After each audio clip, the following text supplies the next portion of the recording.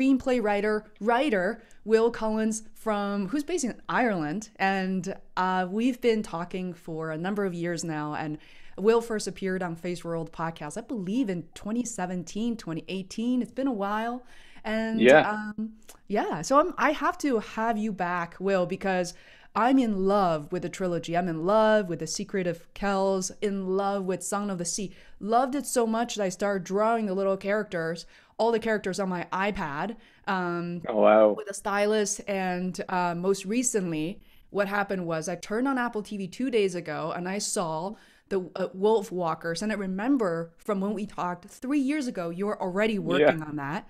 Um, Yeah. and I immediately jumped out like, oh my god, it's Friday. I gotta watch this weekend. And I uh, immediately start emailing you, and, and I was like, oh, this is amazing. So welcome back. Uh, it's great to chat to you again. I remember that conversation it was a lovely. Uh, we had a lovely chat because I thought it was lovely because when I when I got off it, I thought, oh, I sounded so stupid there. But then I listened to the finished interview, and you'd done a great job editing our Mhm. conversation down. You just got rid of all my ums and ahs and all that sort of stuff. So you did a, a fantastic job. So uh, yeah, you make me look good. So Aw. I'm glad to chat to you again. You sounded so good, and I we have to thank our, our producer Herman for doing such a phenomenal job. Um, Right. uh, You know, the one thing I'm gonna misquote you in just a second, but the the things that you said, it's like the painful truth that brings everything together for Song of the Sea. Yeah. Yeah, yeah. That was a big thing. Um, one of my kind of early lessons in screenwriting, you know, um, I was very fortunate to kind of like come across this. I I think everyone has their own concepts on how they make their own bread, you know, Mhm. and um, one of my concepts that I kind of like lean on a lot. It, one of them is you know, to to for your characters to have a a, deep, painful truth that Mhm. the, the the the journey that they're going to undergo will expose that and heal that essentially, you know, and um, it's kind of helped me through all of my stories and all of my films. Um, and yeah, it, it's Song of the Sea definitely, and and Wolfwalkers as well. Yeah. Mm. And okay, let's talk about Wolfwalker. I feel like the moment I get into Sound the Sea, I have to. I told my mom we're gonna we're gonna have a movie night and we'll have to watch that. So uh, again, so Wolfwalker, the story is amazing. For those of you who are watching this conversation, I will be sure to let you know at which point we're gonna give away some of the plots and um, you know things bits you haven't seen. But I highly recommend it.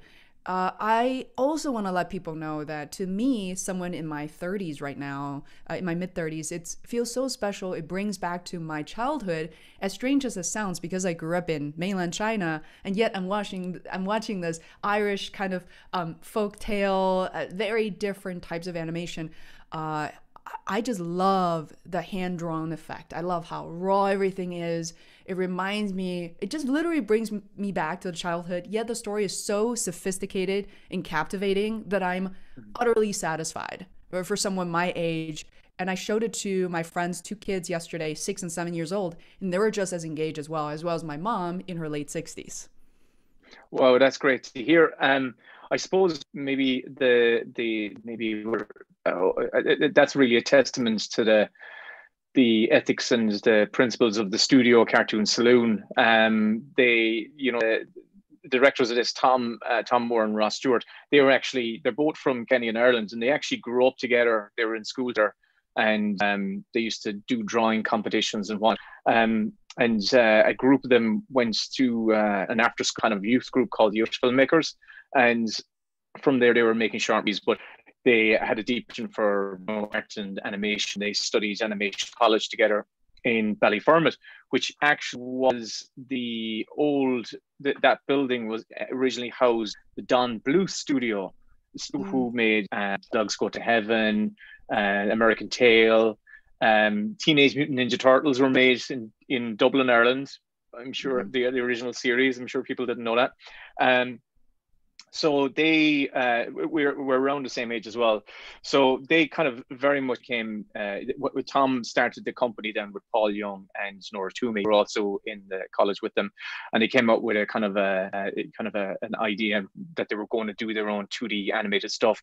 Even though at the time uh, Hollywood was veering away from 2D animation. Disney was kind of on its last few 2D animated films. Uh, the golden age of the 90s had ended. You know, for the, the Lion King was a big, huge success, and they had a, a great run of uh, sort of 2D animated films. But once Toy Story came along, that changed everything. And then really when DreamWorks came out with Shrek, it just totally like poor 2D was, you know, on the ropes. But despite mm-hmm. that, the, the gang in cartoons, including Tomm and uh, the other producers, they endeavored to make their own, you know, film and they did series and commercial work to keep themselves going. Um, and so all their stuff has really been kind of 2D. But CG has been used, and is used in Song of the Sea, and CG used in in, um, in Wolfwalkers, um, and a lot in very in, in a nice kind of like synergistic way. Um, but then the actual storytelling side of it, I suppose. So see our influences. We're obviously hugely influenced, you know, stuff from from from the east, like Studio Ghibli, and um, but we're also seriously influenced by the classical Western storytelling. We died of that and I think for me anyway, like um, Wolf is our attempt to really tell a very, very classical, westernized, like, you know, hero's journey story, um, but using the absolute every possible tool they could in the realm of animation to, to tell that story in the, most visually and striking way that they could. So, uh, you know, I'm delighted to hear it worked mm. for you. Yeah, I actually I, I just felt like as a creative entrepreneur, um, a lot of people are listening to the show are a you know a form or a type of um, creative entrepreneur. Whether they could be they could be a, a poet, they could be writer, um, filmmaker, designer, or you know uh, coaches, and and so uh, to us, you know, every day, especially in the year 2020, we're taking a lot of risks. And for me to witness a 2D animation in the year 2020 I find myself kept repeating that, articulating that to my mom, who's an artist, to my friends to say, it is so special on the surface. Like, you know, Cartoon Saloon is taking almost a risk of picking an identity that is so different than what we're used to these days. Everything is 3D, everything's super flashy. Um, and also, I find that American animators have their own unique way of telling a story, right? Like at the beginning, there's something really dramatic happens. Like you need that hook. Um, but something about the way that you wrote the story as well with the dialogues, it's just something really subtle that I find at the same time also very captivating without being overly dramatic or sensational. So um, I don't know how you're able to achieve that. Like what, what kind of mindset or how did you condition yourself to write for something like this? Oh, um, well, it's a it's a big question. Um, I suppose uh, you know if you're talking about the, the uh, character and character arc and whatnot.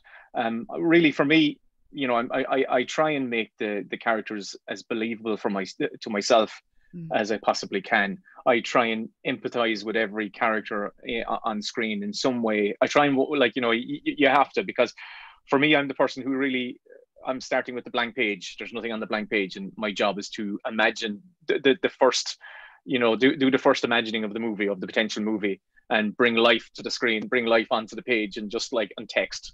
And um, it's uh, it's it's it's very difficult. But what I do is, I suppose I I, yeah, I, that's it. I, I kind of draw from you know personal experiences. I know that we're all humans and we all share the same emotions. We all have had the same you know feelings, but in different contexts related you know related to our own lives.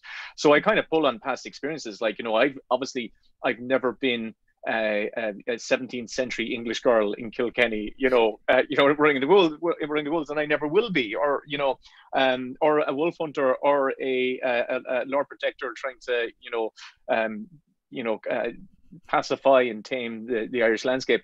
But I try and find a way into those characters, and um, I suppose it's just a, a, a, process of making the characters believable, making their motivation believable to myself, mm. and um, and uh, kind of understanding who they are at the core, making them as as real as I possibly can, you know, and not be patronizing to them. You know, I think that's it for me.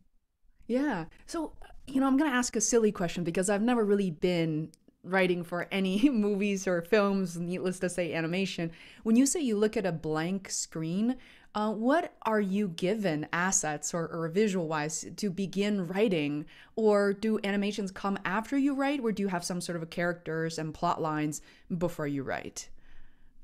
No, that's a, a, a, you know any question is a good question, especially no, it's a perfect question because so when I start how the, the genesis of how it all develops is um, in this case the, the directors Tomm and Ross they had the idea of setting their net of setting a film, doing a film together that was you know set in uh, Ireland in the 1600s because there was a, a, local legend about the you know the, the werewolves of Ossory. They kind of thought it was a kind of a, a cool legend, and also um, 1600s in Ireland was a you know a very turbulent and uh, brought mm-hmm. time for to be Irish. You know, we we uh, experienced uh, you know severe colonialism and the effects of um, Robert uh, Oliver Cromwell's um, you know a rule here. So what happens is they they put together kind of an idea. They say, okay, right, we're going to set a story here.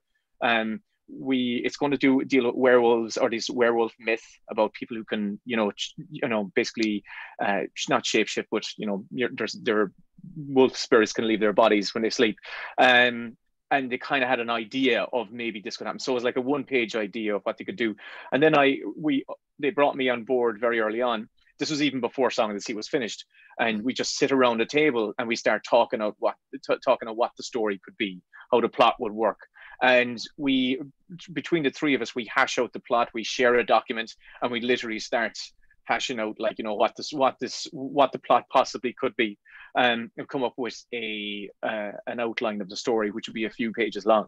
And once we're kind of happy with that then i just sit down and uh, open up a blank screen um, not final draft, but fade in document I was using, and just start writing the writing the writing the actual screenplay. Just slowly kind of get okay, what's the first shot? You know, what's what who's what's going to happen? How is this actually going to uh, oh play on screen? So in my head, I'm literally imagining a really. So what what the guys have done then is they they will in in in concert with me before even maybe when I was started, they had started to create concept art of the world. They had already mm-hmm. started to kind of like create the visual language of how the city might look and what the you know the character design. So I had an idea of what the characters would look like, what this what the city would look like, and what the, the woods would look like. And they were you know just gradually they they shared a little office down in their in the studio. And every time I would go down for a story meeting, there would just be more and more pictures on the walls, like you know.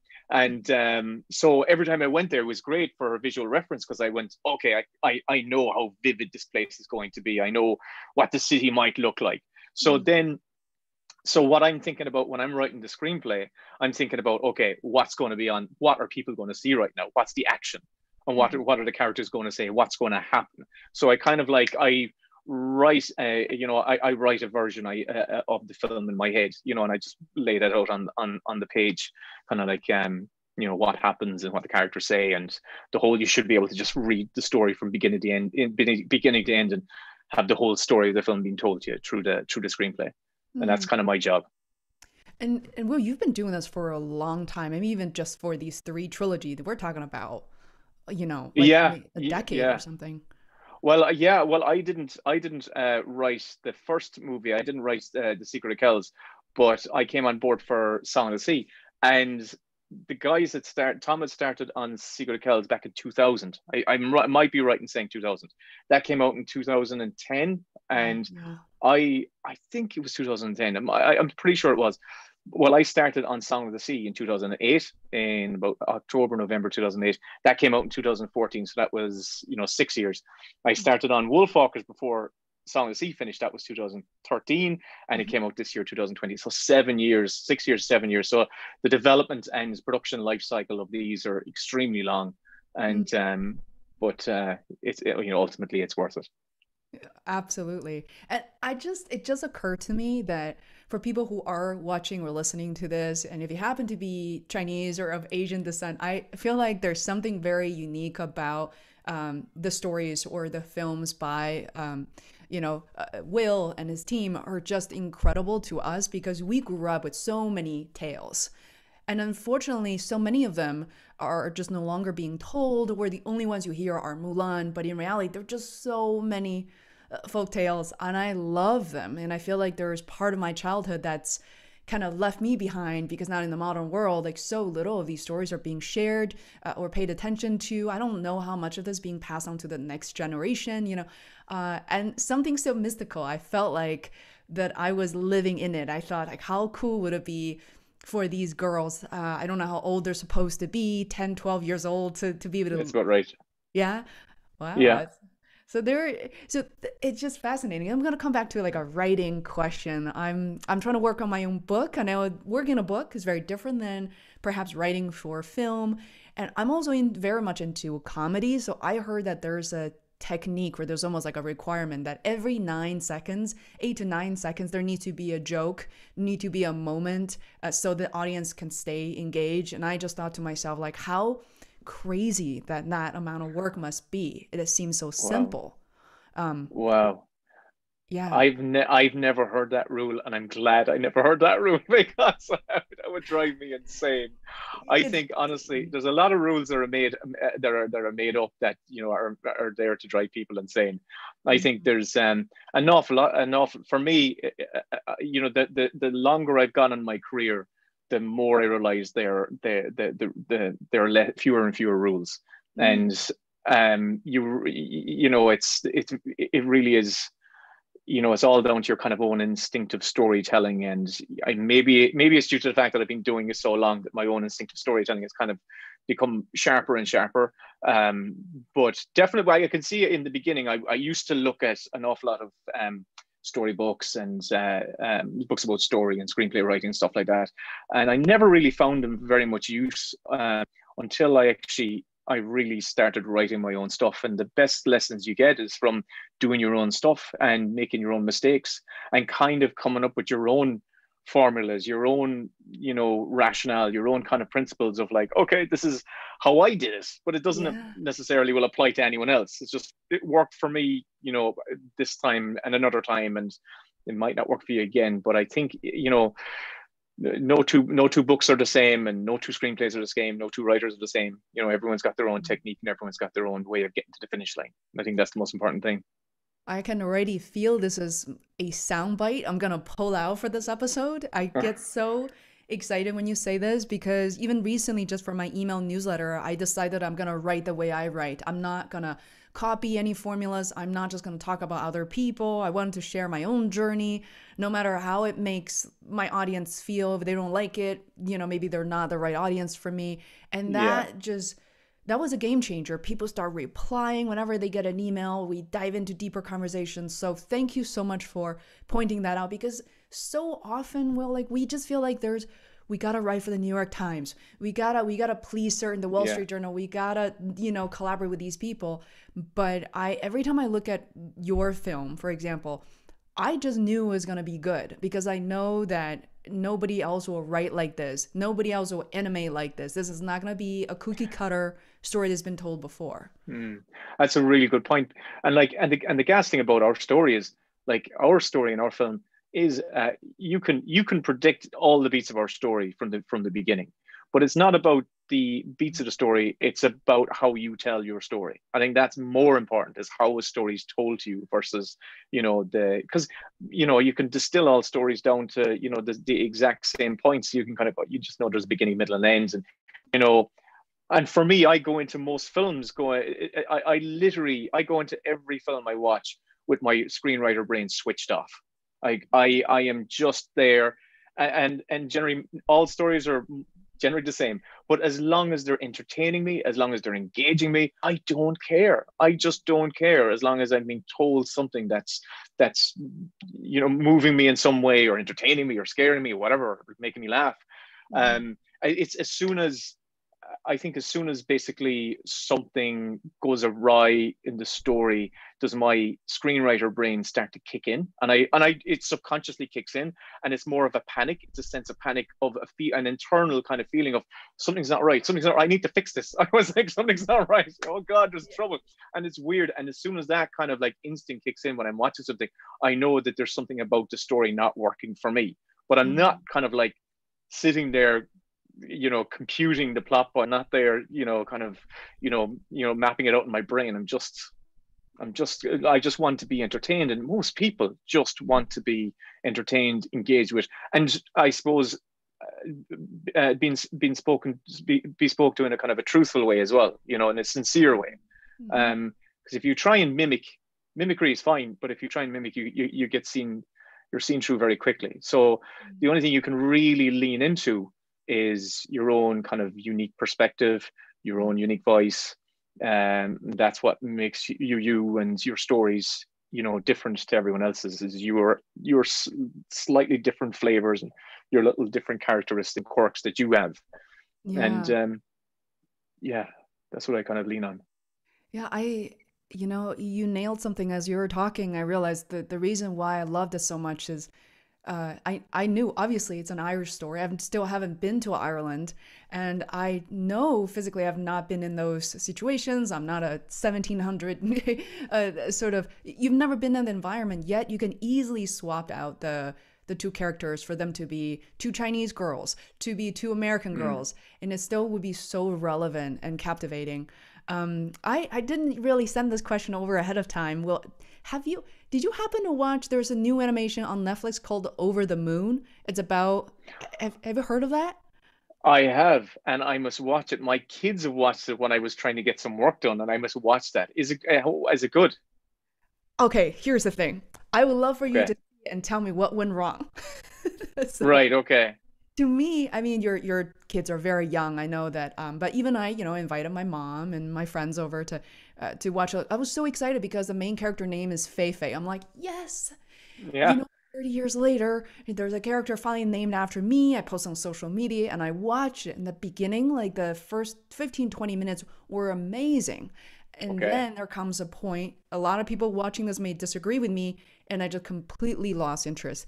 And I said to myself, I gotta watch this because I have this thing about Asian characters and Disney movies. I feel responsible for yeah. you know, supporting the film and I tried to restart that film eight different times. I just couldn't do it. Whereas uh, for the the Wolfwalker, like honestly, well, if, even if I didn't know you, uh, I would. There was absolutely no point in that movie I would ever step away. And even you just said that at the beginning, you know, you probably know what's gonna happen. You know, maybe it will be a happy ending. No, there were many plot twists, which I will again, I will remind people, like I did not see how things were going to come together. I was very surprised like 3 times. Oh, good. I'm glad. That's great. Yeah. so it was oh, was good. So please let me know what happened to the I would I would love to know what actually happened to the film. Like it just I don't know whether it was the animation was the the script. It just like it just fell apart so quickly and then you will know, oh. I think you'll know exactly which point I'm referring to. I'm going to watch it. It's a it's a it's a small miracle. Like you know, making films is a, an incredibly hard thing, mm. and and I, I I you know having gone through the process now, I, it's incredible to get anything made. So I'm inc- I'm very compassionate to anyone who tries and endeavors to do to do something like that because it's it's hard. It's so it's so hard, and you don't know as well what you don't know as well what other. I was very lucky in the case of, of Song of the Sea and Cartoon Saloon that I was working. I was working with Cartoon Saloon, who you know their creatives are leading the studio, and I'm you know Tomm's directed those films, and he's a co-owner of the studio.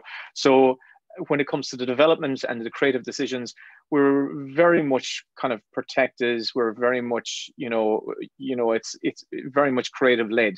Mm-hmm. So the decisions that are taken are really, you know, even though we, we we would have disagreed on many many things, you know, we would have you know had plenty of you know disagreements, um, but ultimately everyone was doing everyone's point or everyone's uh, I suppose, uh, point of view was always for the betterment of the, the, the ultimate story or the ultimate, you know. So I don't know what the, the development set of, of Over the Moon was. You, you, there's all these other factors that could have yeah. had an effect on us, and um, I will watch it. And um, I've, I've heard nice things about. it. I've heard that this is nice. So you're the first person I've actually, you know, as referenced it, who kind of said, "Oh, it doesn't really work for me." Yeah, I would love to I know. I love to hear your feedback. You know how I felt was, which we've all been there, and I did my film. I think after our conversation, I ended up, ended up producing a documentary, and people say that the the only not the only the harder thing than uh, putting together a documentary is to find money for it. So for me, the, for yeah. me watching Over the Moon, it's like wow, this started. Let's just say you know, 100 million, whatever dollars involved. And then halfway through the film, I'm like, did they run out of budget for this part or something? Wow. Like, oh I, dear. I, I just felt that's how I felt. But please don't let it ruin it for your kids. They might have loved the film. It somehow just didn't come together for me. And I think not just I'm not just necessarily stumping on this film, but I've seen TV Yeah. shows after the first episode you're like I'm done with this series. There is I'm not interested in finding out what happens. Like after the pilot there's no story left. Or season 2 often for many shows it just fall flat and uh, sometimes Yeah. they come back to season 3, sometimes they don't. But I'm going to like I'm going to poke around and I will tell my my viewers right now if you haven't seen it you might want to turn off because i will come back definitely come back later because i'm going to ask some of the plot related or conflicts related questions for me um, so Okay. thank you for that so so will you just mentioned that you may have either conflicts or disagreements with uh, with your team members everybody's there for the best of the movie but what are some of the plots would you do you still remember that you thought where you wanted to go one way but were argued that they should go some other way. Like, Oh, plot point wise, that's funny. Yeah. Oh, you mean regarding the development of the story? I'm just trying to think what um where like I think our I think our disagreements were very trivial. Like I ultimately think they were very I think ultimately we were all pulling the same direction, but there might have been like instances where we say you know, if I can't, I honestly, I'm finding it hard to, to specifically been seven recall years. one. It's been seven years. I've had two. We've had two kids, and so my I've got like you know I've got a Swiss cheese brain right now. So there's like big gap, gaps there. But I know like, but it would it would happen in every you know when you're having a creative discussion. You know, it, because the very nature of having a creative discussion, you're throwing stuff out there, and then someone. But but most of the stuff I would throw out there would be rubbish. You know, really like bad ideas, and that's like the the very essence of you know being creatives you kind of have to be in a kind of a mindset where you have to be able to just like throw all of the ideas out there because if i if if you're if you're in a kind of a you know a, a closed mind uh, state of thinking then you really aren't going to get to that kind of place where the real good idea is. So you have to feel free enough to be able to to let the silly ideas out there. And I, I i can i can only point to myself and i'm let me think what bad ideas did i have. Um oh i know i had bad ideas all the time but it, it's but like you know but we're in a, a good enough state where where we a, a, let's say a decent enough relationship where we would be able to just say no that's silly you know or you know that won't work or or that's a great idea. But yeah if someone had a great idea it was a great idea you know? Um but we have plenty of like i think i can if you're talking about specific plot points i can tell you one of the biggest changes that we made which wasn't difficult. There was um for the first couple of drafts robin was actually originally a boy. Mm. so the first few first few drafts of the story robin was originally a boy and i remember my very first the very first pages of the very first draft i wrote uh, they're on the flight back from the world premiere of song of the sea in toronto. And i'm usually i usually hate writing in a room with other people. I feel really self-conscious and i just don't like it. I just need to be i just need to be you know on my own feel like no one's looking at me and uh, looking over my shoulder so i can just type badly. And um and I, I knew that this people sitting around me on this flight they weren't english speakers. So i knew they weren't going to be reading my or i thought they didn't weren't reading my screen. So i said look they, and they were sleeping as well it was a long flight. So i said right i'm gonna i need to start this script. So i started writing the first few pages and it was of this like really i was i was really into it. I was like going this is going to be like a western. It was going to this is going to be like the opening to once upon a time in the west. There's going to be no dialogue. It's going to be just all character movement and it was going to be robin and and his dad bill and we're going to see them hunting a wolf. And it's going to be this like samurai jack type sequence but we'll see through their actions their relationship but also the kind of like the, the failings in the relationship and whatnot. And in that opening sequence um robin gets bitten by a wolf you know in that opening sequence and the story kind of started really quick. Um and it was a class sequence i was so proud of it it's, it was they always talk about like you know your babies and it really was my baby it was that opening sequence was my baby i loved it i loved writing it and i, I and i knew that whatever Saloon would do they would just turn it into something incredible you know um but about two drafts in we got a note. We got several notes. One was from my late friend Liam. One was from Nora, the co. Uh, she directed Breadwinner and co- uh, also co-owner of Cartoon Saloon, and I maybe someone else. And they said, "What if Robin was a girl?"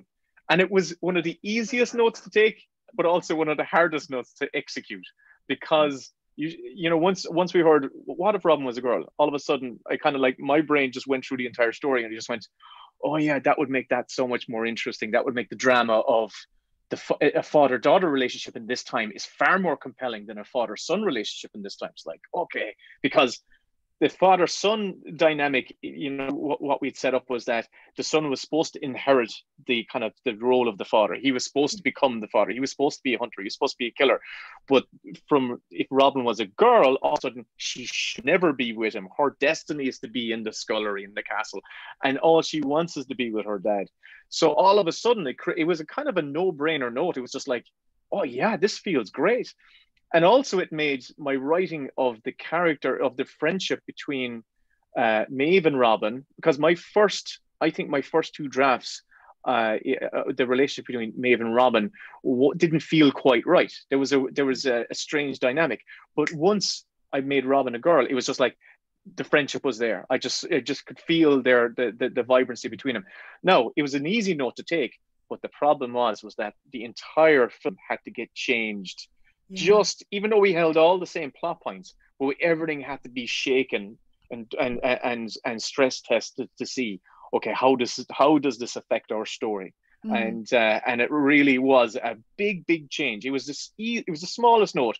What if robin was a girl you know but as a result and it was the right note but it really took us it, it, took us like it was like turning a big steamliner trying to get that thing shifted around. We had to go slowly go through everything and kind of go okay does this make sense for the rest of the story? And yes we saw it made sense for the rest of the story but mm-hmm. what ended up happening is it didn't make sense for that lovely opening that I'd written. And the lovely opening that Tomm and Ross had also fallen in love with. Oh. and we kind of held on to that hunting opening for as long as we could and I think I kind of gave up. I was kind of thinking, you know, earlier on, is I think we need to lose it. It's not, it doesn't make sense. And that opening just, we're trying to make it work, trying to hold on to it. But as we went draft after draft, that scene became more watered down and watered down and it just didn't make sense for the film. And ultimately, we had to kill that baby and we lost that lovely opening scene. So there you go. I don't know if I answered your question, um, but uh, absolutely a very long winded way around it. I'm so glad Robin is a girl because, you know, I think especially as a woman watching this for the first time, it just reminded me of the dynamics between two very young girls, 10 to 12 years old. Yet the storyline reminds me now, as an, uh, uh, an adult woman, that the intricacies and the sophistications um, between women's relationships that you go from childhood as best friends to getting into constant arguments and then, you know, at some point in your life, either you're, you know, you find your partner, you get married, have kids, and it just turn the relationships upside down again. And, you know, and then you think about like sometimes that the among women, what's sometimes unfortunate is there's always a bit of a, a competition that's I find really unnecessary, and yet it's always present. It's always present.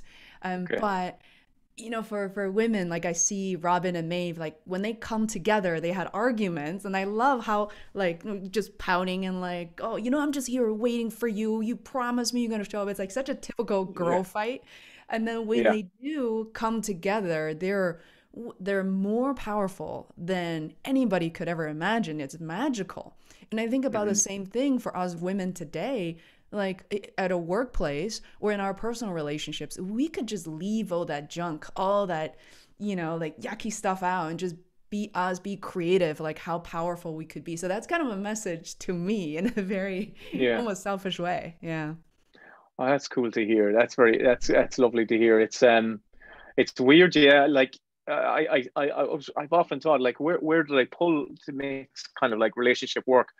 And I really do feel a kind of I, I drew on my own childhood experience where one of my best friends growing up was um, a neighbor of ours, uh, uh, Shirley Crimmon. And Shirley was like, I'm sure she wouldn't mind me saying, but Shirley was like a, a bit of a tomboy, right? Yeah. But I, we had the best childhood together. We would go, Shirley, myself, and my brother, we would just go on these amazing adventures out into the, uh, up and through the fields, as we call it, like getting stuck in bogs and getting stuck in mud and climbing trees and carving trees and all this sort of jazz. But I also remember the sense of, you know, hoping that Shirley, you, we were like one house away from each other, we can come out to our, our wall. And I remember going, I wonder if Shirley's going to come out today. you know, wait, I wonder if Shirley's come out to play, you know, and you're wait, waiting and waiting and going, oh, where are they? You know, you're going, you know, that frustration of like, oh, where are they? But yet I distinctly remember that sense of joy of sitting on a branch in a tree and just talking about telling each other the plots of films we've seen or just mm. talking about going on adventures together. And it was a very, very um, warm and sincere uh, friendship and, uh, and and and and I think you know informed you know the the the, the writing of their Robin and Maeve's relationship mm-hmm. for me anyway. And maybe like infused with Maeve's infused with a little bit of a kind of like boldness boldness. We use that in Ireland as a kind of a, a roguishness or a, a um, she's she's from the other side of the track so she doesn't have the same social rules as as as Robin has. Um I'm so glad. But also I have to credit the animators as well. Mm. the animators did an amazing job of and, and the girls the the, the the the performers the animators did an amazing job of finding little subtle characterizations like that I didn't write in the screenplay at all but like mm-hmm. they they got the performance so animators are like are half of or more than half of the performance and they don't get the credit that they deserve but they would find those moments like there's a moment where they're sitting on a branch and Robin is brushing Maeve's hair yeah. I didn't write that the animator the yeah no i didn't write any of that stuff it's just just brilliant that's what you get when you when you work with really talented people now maybe tomm had it or maybe storyboard artist had it or i don't know who had that idea but it's those little decisions those little nuances yeah. give the characters more depth and life and um, reality and also on top of that it's the casting of the actors mm-hmm. like um the the it was um honor Kneafsey is the, the young actor who plays Robin. And May uh, Eva Whittaker plays Maeve, and I'm not I'm not lying. Where I was in the room when we were doing the voice records, they nailed every take on the. They gave us the perfect line reading on the first take every time.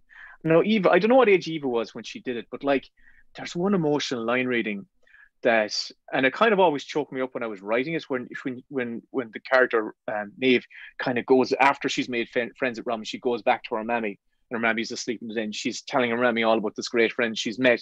And then she kind of just, it just slides into her being really worried about the her mammy saying, Mammy, like, where are you? I'm worried about you. And I always kind of, I, I, I thought it might work when I wrote it. Um, but then I heard Eva, like her first line reading of it. We were, there was myself, Tomm, and Ross, and Karen. And um, the three of us were all welling up. Like she just nailed it on the first go. So it's really as kind of a synergy of like all good creative talent working together oh, and to create the, all this thing. You know? So um, again, I've hijacked your question. I've answered.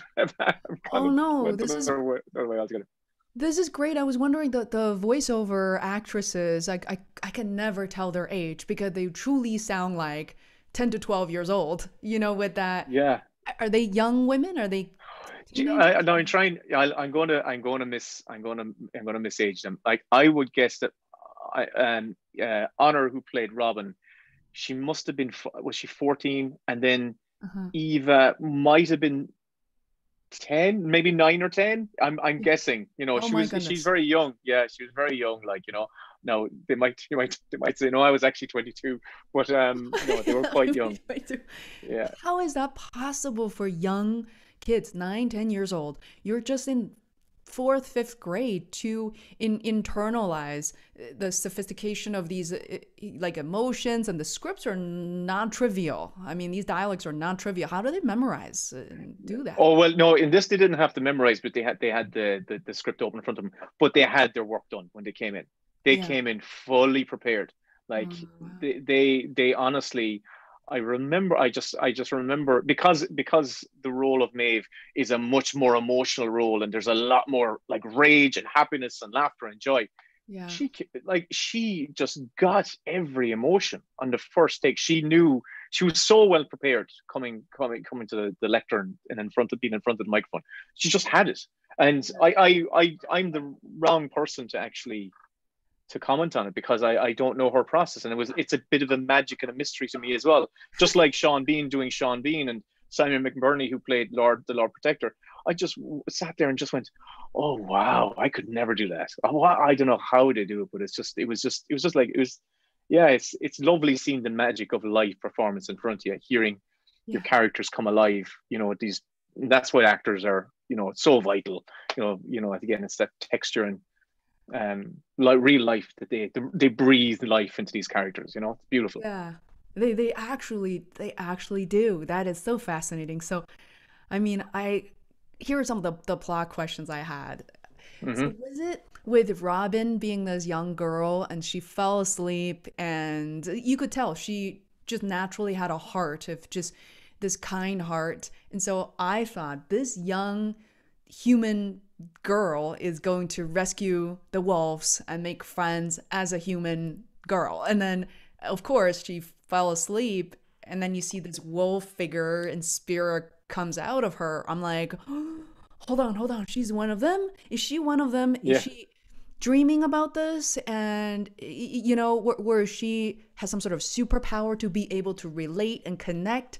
So was the yeah intention that she is she is one of them? She is a wolf walker herself? oh yeah well we were playing on the the, the, the there's the werewolf myth there's a kind of the, the, the US version of the werewolf myth is like, you know, you get bitten by a by a werewolf and you now are the werewolf. Uh, so there's that there's that thing. Um, I but then so we kind of we, we we leaned into that and we just kind of said, well, look, what you you get bitten. You if you get bitten, you become a wolf walker. You know, you know, are- can walk in their shoes. You literally will walk in the shoes of a wolf. You are you know, um, you're one of them. So yeah, she literally becomes one of their people. And the same thing happens with you know Bill, the dad, later on when he's um trying to put the the big big wolf back in the cage on the stage, and it's all very dramatic and emotional. And when he goes to kind of like um put chains basically on Maeve, the Yeah. the big wolf bites Bill. And that's the moment he gets infected, you know, or he's not infected, but he's, you know, now gotten the wolf walker bu- bug as well, essentially. Oh, Um, yeah, so that's what, yeah, that's kind of how, that's the logic of how we, we, we try to make it work, you know, um, just leaning into kind of like the, the age old. Now, every culture, there's in so many cultures, they have their own version of the werewolf myth. Mm, And, uh, you know, uh, the werewolf myth in Ireland is it come well I don't know if it's it, it, I actually wasn't familiar with it. It's a very localized one uh, uh, uh, you know that's that inspired Wolfwalkers. Um it was about the wolves in Ossory and they're about basically people who walk as people but when they sleep they they become wolves and whatnot. They were shapeshifters. Mm-hmm. and a part of I suppose it'll be interesting for you to know um a part of the the backstory of the inspiration for the story was when Oliver Cromwell, the Lord Protector, the real life Lord Protector Oliver Cromwell, came to kind of um, tame the land and colonize colonize Ireland back in his campaign in 1650. A lot of the most Irish people kind of went along with it and just kind of went, well, you know, he came with this very powerful army, and he kind of said, well, if you can, if you can, you know, play ball, you can have a bit of land, and you know, we'll we'll we'll, we'll keep you, we, we won't kill you. Um, but anyone who resisted were, you know, were, were, were dealt with swiftly. So a lot of people, a lot of Irish people, like fled into the woods, and and also we had a, a quite a large wolf population that worked in a kind of that lived in in some bit of natural um, kind of balance with the, the native population as well because there was enough there was enough woodland for them to, to hunt and um, to to get their own feed but when Cromwell came over, he wanted to agriculturalize the land. So he, that meant cutting into the woods, which is literally what's happening in the movie, like, you know, and that's mm, what was happening in real life. But when you're cutting into the wolves, woods, you're cutting into the into the wolves, you know, food supply as well. So it created a, a, an issue. So that's why Cromwell in real life brought over hunters to eradicate the wolves. But he used propaganda, and this is kind of like one of the early examples of of real life propaganda. He created these like wood print posters, and in the wood print poster, it depicted a wolf standing up on its hind legs like a man wearing man's clothing, uh, mm-hmm. uh, human's clothing, and it and it basically was a, a flyer for the hunters to say, listen. Um, you go, we'll give you five shillings for the for the head of a wolf. But if you come across any Irish people, you know, we actually have evidence to prove that those Irish people are actually wolves as well. They're shapeshifters. So if you kill an Irish person, you're effectively killing a wolf, and we'll give you the same again, or we'll give you double for this, and we'll give you such a price for a priest. So they were using the propaganda to, to kind of like uh, to validate a type of genocide, really, you know. So um, yeah, so there you go, another long, another meandering answer for um a, a good question. This, this is actually kind of uh, you know take us right to one of the, the questions i had written down. But right before that i was going to say i had a moment of reflection as to why i got a little bit confused about i just thought like oh my god robin and her dad are so special. They didn't know they're wolf walkers all along. I didn't realize it was as a result of maeve scratching her while she was like upside down swing from the rope. And the reason was i think in american movies like uh, spider-man for example they once you get bitten, they keep showing the wound. The wound will light up, like keep referring back to it. You're like, oh, something is happening. But I think it was yeah. so such a light touch that yeah. I actually love that because I didn't even. I was like, oh yeah, you got scratched. Like I didn't even think about it. But yeah. this is this is one of those Reddit conversations because people are like, oh, this could happen. And it was because of that. And like, you know. Oh, was... we we de- we definitely tried to. I'm I'm. That's kind of nice because we we tried to deal with it subtly and not too obviously. Because when Maeve when she bites her, mm. Maeve brings her back home, and Maeve's like, I gotta heal you, and Maeve yeah. is trying to reverse any effects, and she's like going, okay, you're healed. Good luck. Get out the door. I'm. You're done. Um, mm-hmm. and even her mom kind of brings it up uh, when uh, Robin as a wolf faces uh, meets her mom in the cage, you know, in the big cram in the in the Lord Protector's kind of chamber. The the the mother wolf says only a only a wolf walker can create another. Only a wolf walker's bite can you know um, make another become a wolf walker. She says it very quickly. You see, you oh. wouldn't have picked it up because oh. we. I remember that actually that line reading was something that was we did a little bit of tweaking of that line reading when we recorded it and um, Maria, the actress, um, the actor, she had uh, she had a lovely little note on that, and we just kind of did a little kind of rewrite on it.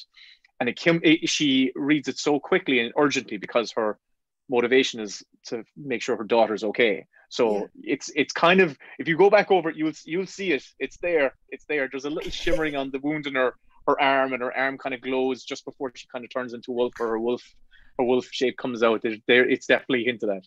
Yeah, yeah, I'm gonna watch it again for sure. This is so fascinating. So going back to what you brought up, uh, the whole time I was thinking, um, especially in the past 10 years when it comes to you know animal rights movement and especially on all the environmental issues you turn on netflix you can't even avoid the fact that you know how our, our planet has come to be and what we really got to take actions right now so i wonder if it was intentional to uh, like address or touch upon sort of animal rights or like the, the, bigger environmental issues as part of the film? Was it part of the plot as well? And what your personal thoughts are on that?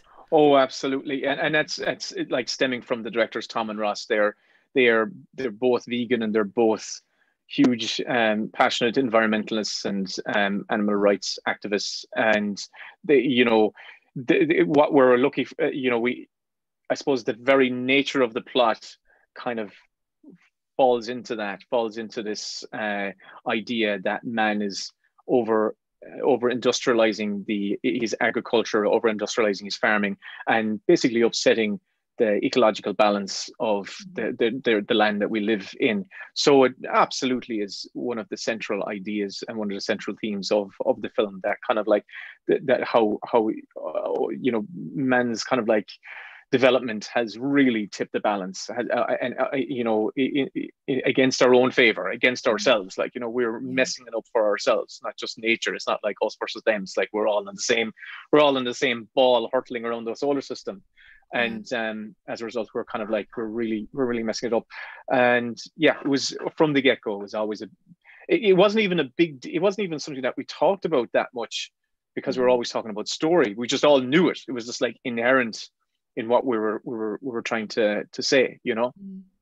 Mm-hmm. Mm, this is lovely. I'm so glad I asked that question. So to respect your time, Will, I we have a couple of minutes left. The the one and for people who are watching this, enjoying this, I'll be sure to include a link to our previous conversation as well, where I ask Will a, a lot about kind of the creative process, how Will became a writer in the first place, also working the film Song of the Sea, which I'm absolutely in love with, and you can watch for free on on Netflix, and this one on Apple Plus. So um, the the one last question, I guess, from me is this past year, 2020, has been particularly challenging for creative entrepreneurs. And um, some people have done really well, a lot of people have suffered. And, and so, was wondering what was your personal experience been like? Where do you find your inspirations, you know, given their moments of lockdown and, and things like that? So, how has that changed your life as a writer in 2020? Oh yeah, it made it it's made me appreciate long days, uninterrupted days that I used to have before the pandemic happened. Um, yeah, it, it's it very difficult. It was very difficult because we have two uh, two kids. My wife was also working full time, so and and her work became when the pandemic pandemic hit, it directly affected her work in a you know she became incredibly busy and she was indirectly in, involved with um, COVID and with the fallouts of COVID. So it was kind of an explosion of her work. So what ended up happening for me personally was I ended up taking over the duties of the kind of the childcare during the day, mm-hmm. which made my so I had to work day uh, to either side of the, the the childcare day.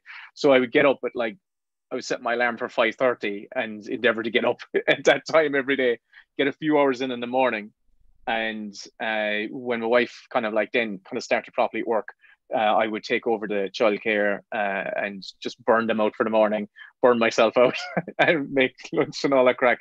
And then after dinner, when my wife had finished, I'd go back and do a few hours. Now it was uh, by the end of every day, I was always exhausted, and every morning was just it was exhausting.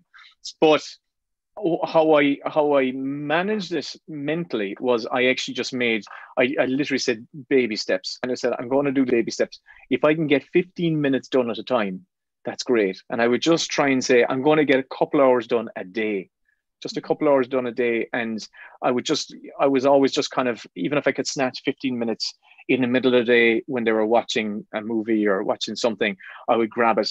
And all those, at the end of the day, if I could kind of hit a, a bit of a quota, uh, a, an actual time quota, I would be satisfied enough. No, it certainly slowed down my process greatly, absolutely, and also the stress mm. of of uh, you know the existential stress we all faced and all the other things that happened it affects your creative mindset. I'm not one of those people who can just block it out and just go you know oh i'm you know don't worry i can just do it. Like you know I, I you know if i'm stressed i'll i'll eat you know i'll emotionally eat and i'll get bogged down by it. But i would still try you know i think i try to work on my mental health. I try to you know the the actual act of writing helped deal with it as well. Kind of helped me kind of like deal with the the everyday um, chores uh, and all this uh, stuff. But now that, but the great thing is that I learned that you know, look, we're adaptable. We're an incredibly adaptable species, and you know, a poor as you know, woe is me. Like you know, I, you know, I, I had to do child, you know, extra childcare and all that sort of jazz. But you know, we got around this, and they're back at school now. But we're still not fully out of lockdown. We still have that anxiety, but I think that what I did is I just took the t- wherever I could find any bit of time, I would take it, and I didn't measure myself on the number of pages I wrote or what I did. I just measured myself on the physical amount of time I I sat down and I tried. It's wow. not about how successful I was. I tried, mm-hmm. and I think that was the I kept things going slowly that way. That's how I managed. Mm, I love that. This this is uh, I I, honestly, I always consider, I don't have children. I really uh, consider myself liking children. I, I do. And, you know, I, I always have a great time with my friends' kids. And yesterday I had a two hour babysitting experience uh, with probably older kids than yours. They're six and seven years old. And I just re- remember that, you know, we had to entertain them and organize them the whole time they were here. I had no idea. So, uh, yesterday, everything on my to do list was not checked off, maybe 20% late into the evening. And I, I, I gotta yeah. say that my heart goes out to parents out there. I really had no idea what it was like to be a parent. And for me to babysit someone for just a few hours was really eye opening uh, uh, for me to think about. I complain about, oh, I, I got up at eight today, I uh, instead of nine, or like I, I want to work into the evening. Oh, the freedom I have I have in my life that I did not appreciate or even acknowledge.